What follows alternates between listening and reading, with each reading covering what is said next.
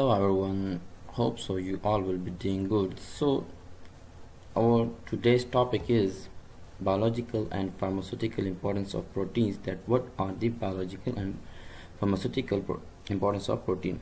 As i have discussed in my previous video about the importance of lipids so must go through it. And now today we are going to discuss about proteins. So let's go that what's there for us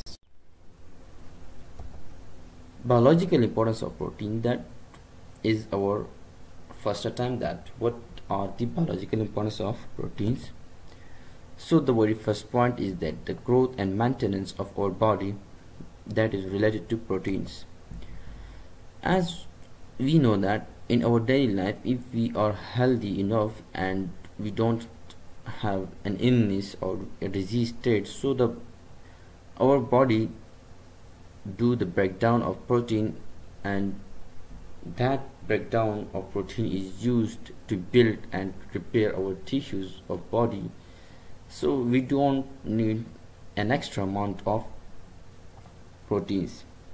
So we can say that under normal circumstances your body breaks down the same amount of protein that it use, uses to build and repair tissues. Now if we have our disease state then it break down more protein than it can create thus increasing our body's need. So it means that in a disease state the protein use or the protein needs to our body is increased from the normal level.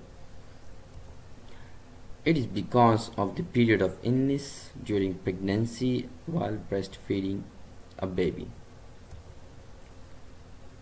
Now if the people recovering from injury or surgery what does it mean that it they need to repair their tissue other than other than a normal way? So we will need more proteins.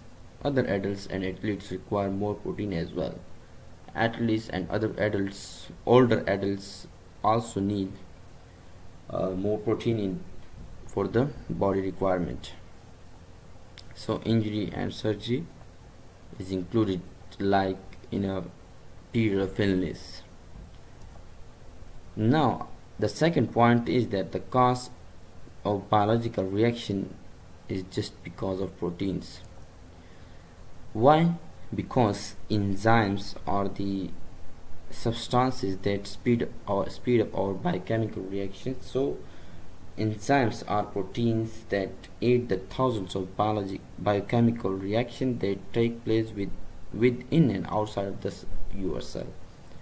That is an important point that protein are enzyme in enzymes are protein in nature, so they aid the thousands of biochemical reactions uh, that are needed, or you may say they are running, or you may say they are reacting inside our body or outside of our cell. So the structure of enzymes. So going toward the enzymes. So enzymes have a structures that allow to combine with other molecule inside the cell called substrate. Substrate is an important point in enzymes. So we are not going to discuss the detailed structure of enzyme so which catalyze the reaction that are essential for your metabolism? So that is an important point. You may say that the structure that is made up of protein can catalyze the reaction of reaction that is essential to our body. So this was about the two points. So going toward the next point so as it is continued about enzyme so enzyme have certain functions upon which our body depends that these are digestion uh, in our next video we will discuss about enzymes that how enzymes or you may say the digestive function of body is dependent on enzyme and about the energy production blood clotting muscle contraction. These are the bodily functions which depend on enzyme mostly. So another main importance of protein that are acting as messenger. Some proteins are hormones while we have some hormones in our body that are proteins in nature which are chemical messenger that aid communication between your cell, tissues and organ that is pretty much simple to us uh, so no need of an extra explanation. That another point about acting as a messenger that they are made and secreted by endocrine tissues or gland so the place of production of these proteins are endocrine tissues or gland and then transported transported in your body to target tissue or organ. Target tissue is targeted where they bind to protein receptor on the cell surface. That is pretty much simple. I think we don't need any extra explanation. So it is still continue. We have another point that it provides structures to our body. Some protein are fibrous and provide cells and tissue tissues with stiffness stiffness and rigidity. Stiffness is like strongness or you may say giving support and rigidity is like the same. So these protein include keratin collagen and elastin which help the, to form the connective framework of certain structures in your body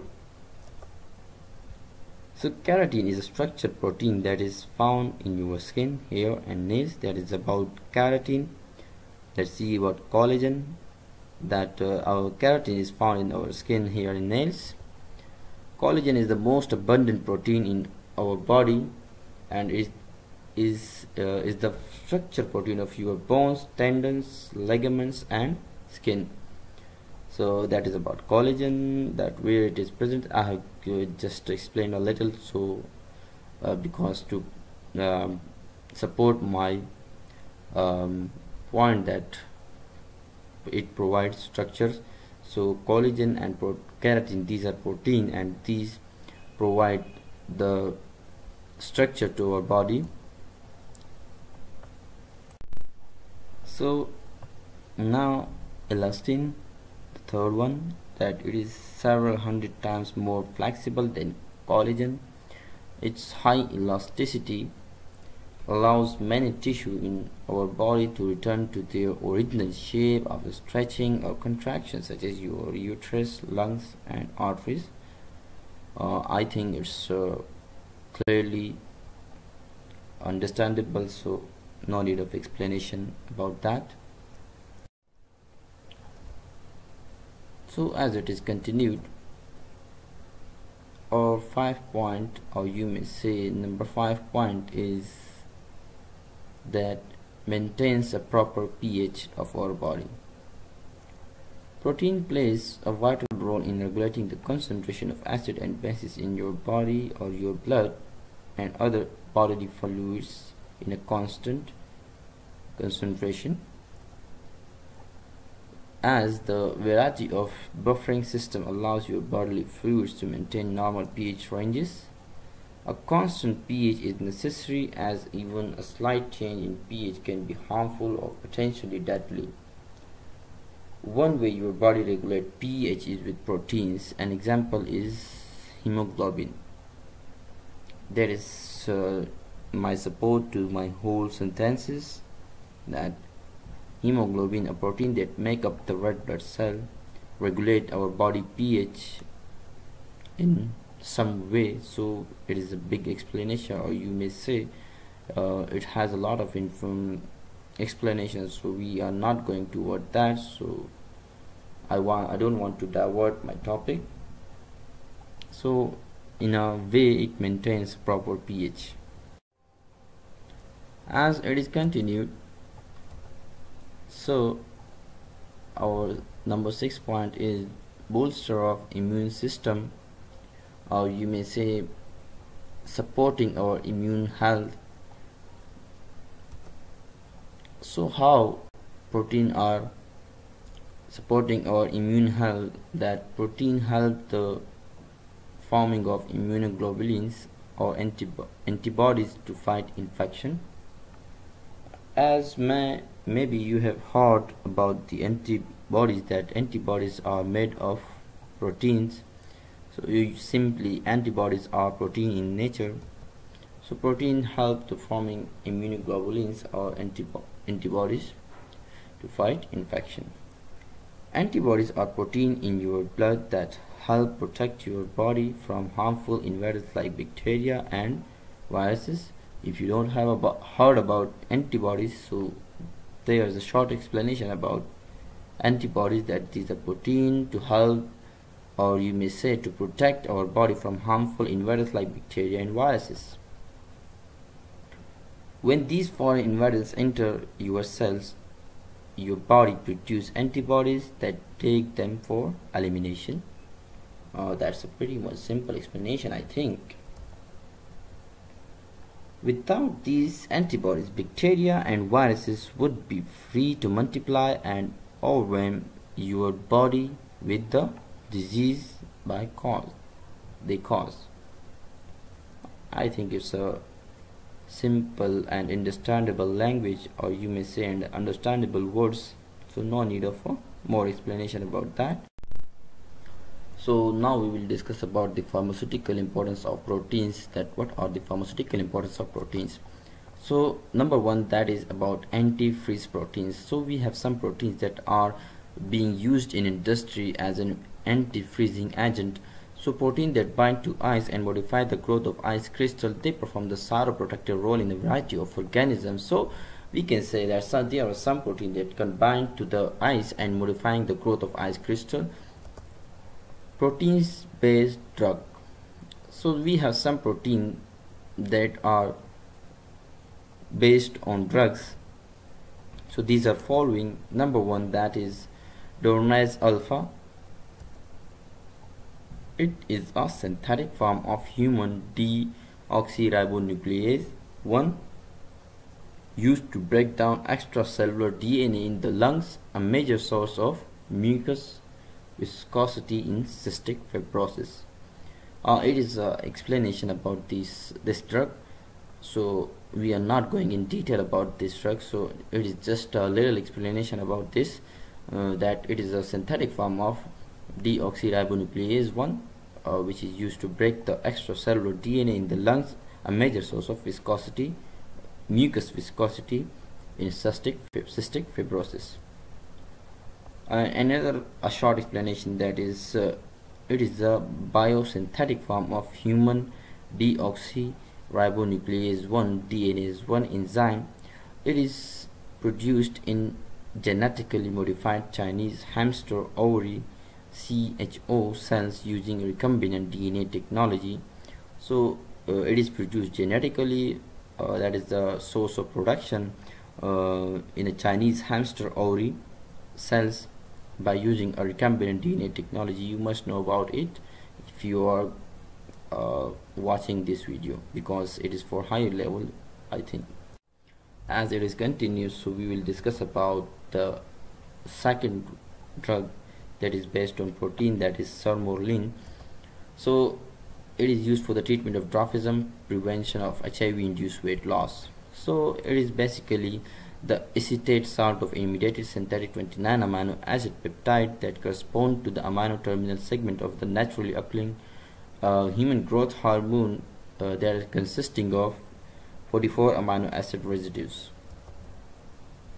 So our next point that is about the beta lactoglobulin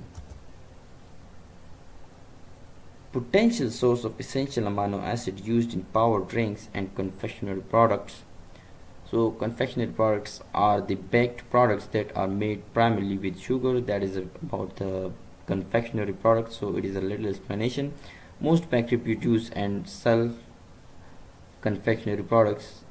Most bakery produce and sell confectionery products. Cakes pastries and cookies are considered to be baker's confectionery product. So we can say that beta lactoglobulin it is the essential amino acid uh, a protein that is used in drinks and confectionery products. It is the third importance or you may say the third pharmaceutical importance. As it is continued so number four point that is alpha lactalbumin alpha lactalbumin it is used in infant formula and as a nutraceutical because of its high tryptophan content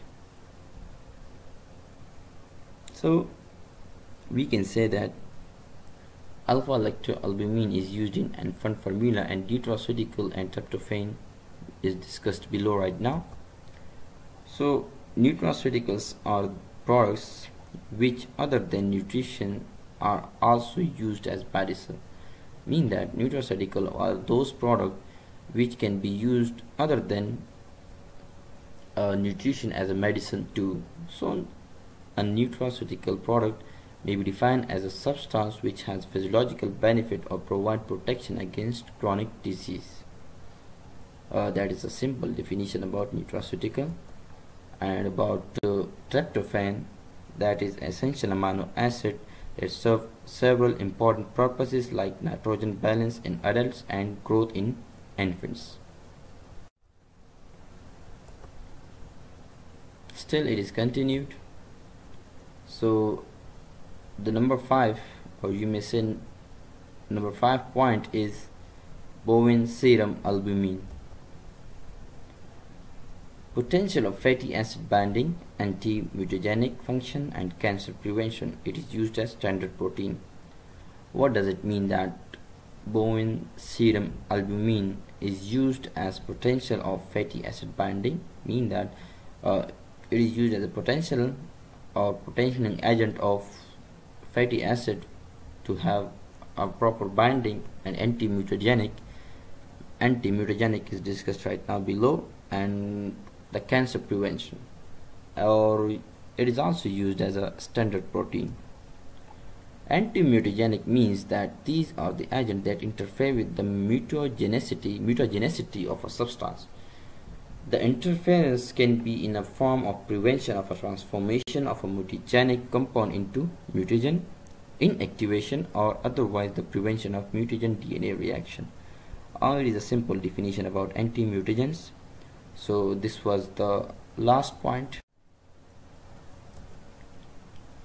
Well, thank you for watching my video. Uh, keep watching or you may say keep subscribing for the upcoming latest videos thank you once again goodbye allah hafiz